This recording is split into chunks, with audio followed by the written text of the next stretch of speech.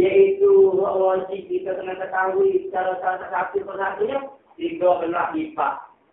Kata tiga belah lipat ini atas kaum Muhammad, atas kaum yang benar. Ini kaum Abu Hasan al-Ash'ari. Ah, kalau dua puluh lipat, yani kaum Imam al-Haramain, yani kaum Imam Abu Mansur al-Maturidi.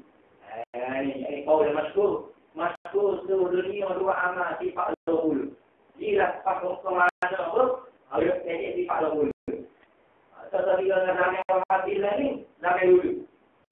Walau tuan Muhammad ini dari seribu, yang seribu seribu ada di kala kita, tetap lagi di kala dulu.